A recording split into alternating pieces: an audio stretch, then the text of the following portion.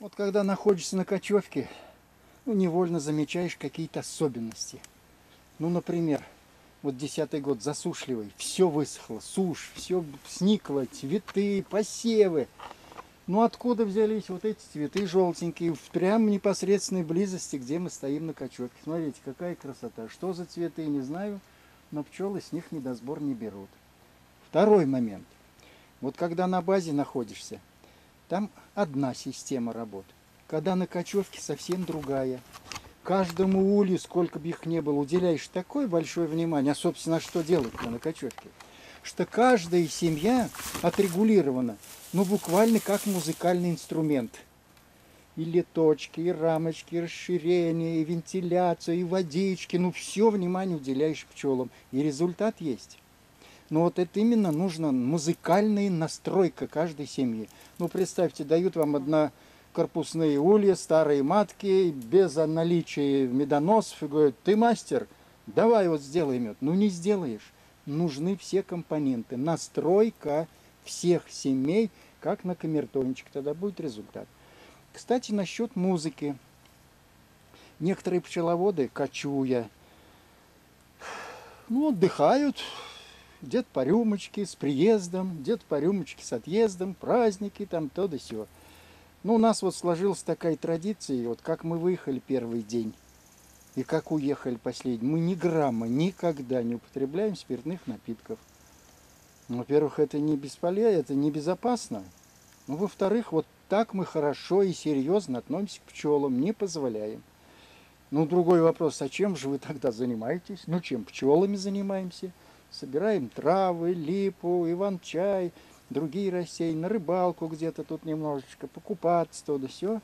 Ну а вечерами, вечерами, иногда, вот у нас есть гармонь, снимая пчеловодский костюм, тихий вечер, как там в песне поется, снова замерло все до рассвета, и гармонь где-то потихонечку. Я, конечно, не специалист большой, но, тем не менее, не знаю нот, я могу играть на многих инструментах, в том числе и вот на гармонии. Она у меня старенькая, я на ней много-то не играл, в армии служил, играть некогда, полеты, задания, командировки, ну так вот с детства, и сейчас уже зрелый возраст. Вот вспоминаю детство. Ну, как такового репертуара у меня нету. Я просто многие мелодии, многие песни – они мне как бы навеивают историю. Ну вот я знаю, в Саратовской области я и служил, друзья у нас там есть. Как туда приедешь, где-то с гостями посидишь, рюмочку вторую, все саратовцы, давай песню споем. А называется она там так. Огней так много золотых на улицах Саратова. И так далее. Вот я одну из этих песен попробую сыграть.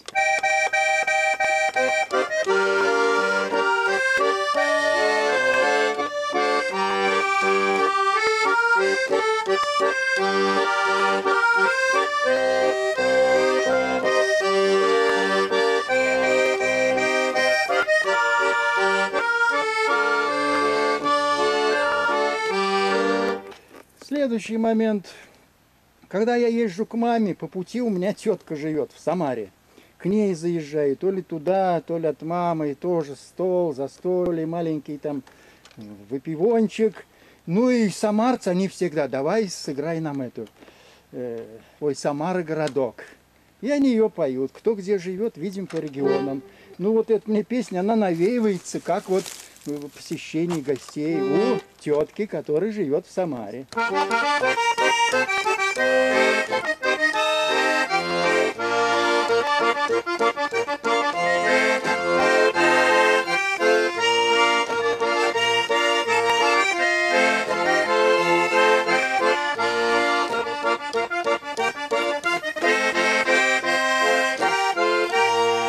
Ну и так далее.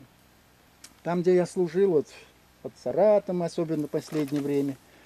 Там у нас была компания небольшая, и как только немножко выпьют, рюмочку-две, там все говорят, давай так, виновата ли я, виноват, вот там песню эту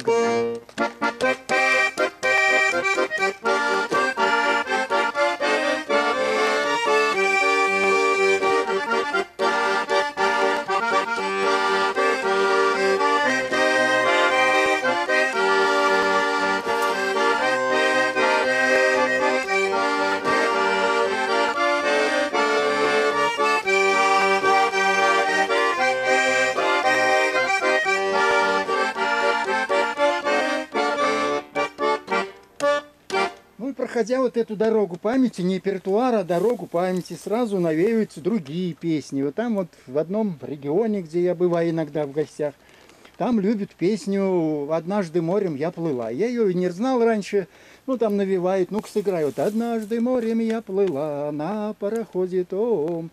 Так, ну давай, давай, он там, погода чудная была. Ну, кто знает это, я говорю, хороший, ну давай, давай еще. И легко сразу.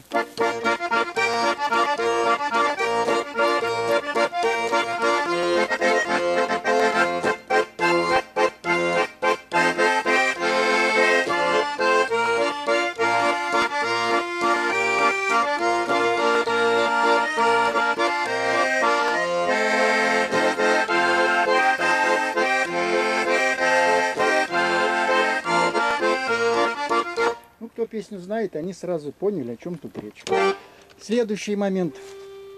Ну, бывает так иногда, что-то совпадает. Вот я однажды приехал к матери в гости, она там, смотрю, суетится, печка горит, ой, курам надо дать, дров надо занести, там за молоком надо сходить. Я смотрю, зашивается моя мать. Я говорю, мать, ну давай я тебе что-нибудь там. Ну как ты, что ты, курам что ли? Нет. О, кстати, иди сходи за молоком иди вот бетончик, значит, инструктирует меня. Мне уже лет 40 было тогда. Она говорит, так, можем так. Придешь, скажи здравствуйте. Я говорю, понял. Там скажу, вот мама прислала с бетончиком, деньги там потом отдаст. Когда тебе нальют молочка, ты скажи спасибо. Когда будешь ходить, скажи до свидания. Ну и меня невольно навеяла вот эта мысль, что мать, вот сколько мне уж, 40 лет, она все, ну я сын для нее, она меня так все инструктирует, как сына. Прихожу домой с молоком, и по радио Ярослав Евдокимов поет песню. Помните там «Ах, мама, маменька, я уж не маленький». Ах, мама, маменька, мне много лет. Я ее послушал, беру гармонь.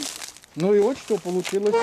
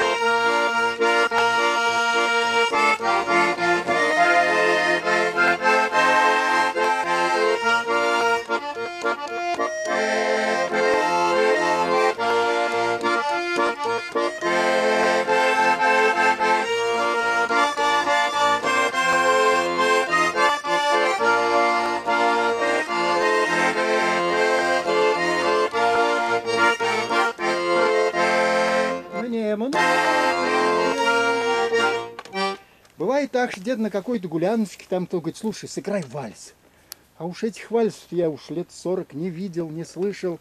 Я говорю, ну а что за вальс, как там? Ну вот там та-та-та-та-та-та-да-да-да-та-та. Я говорю, а, ну этот я знаю, хотя ничего не понял. Ну вот что из этого получилось.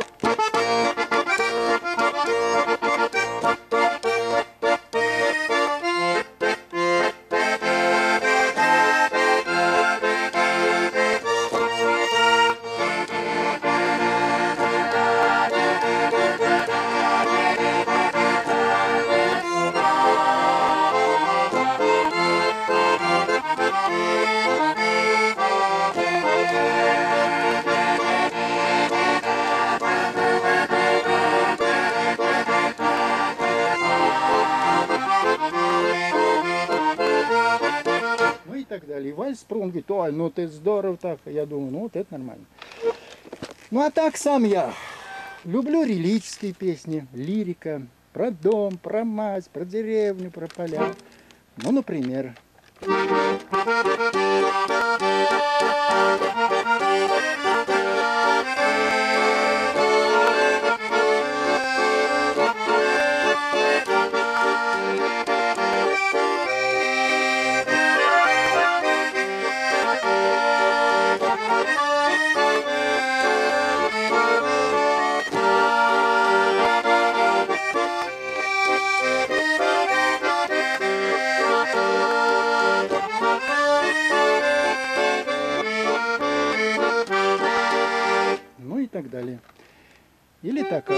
там песня.